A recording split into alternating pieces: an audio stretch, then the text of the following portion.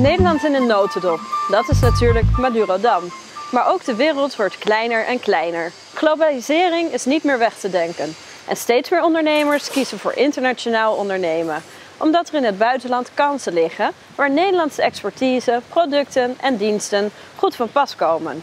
De Nederlandse overheid helpt u graag om die kansen te verzilveren. Rijksdienst voor Ondernemend Nederland doet dat vanuit Den Haag, Zwolle, Utrecht en Roermond.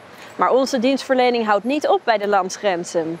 In het buitenland kunt u terecht bij ambassades, consulaten en MBSO's. Dat staat voor Netherlands Business Support Office. Een verlengstuk van RVO.nl in het buitenland en helemaal gericht op ondernemers.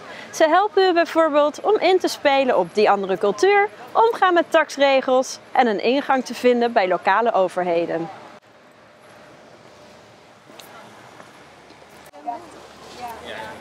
In deze wereldzaken vertelt Gemma Broekhuis, winnaar van het Oranje Handelsmissiefonds, hoe zij een ingang vindt op de Japanse markt met hulp van de ambassade in Tokio.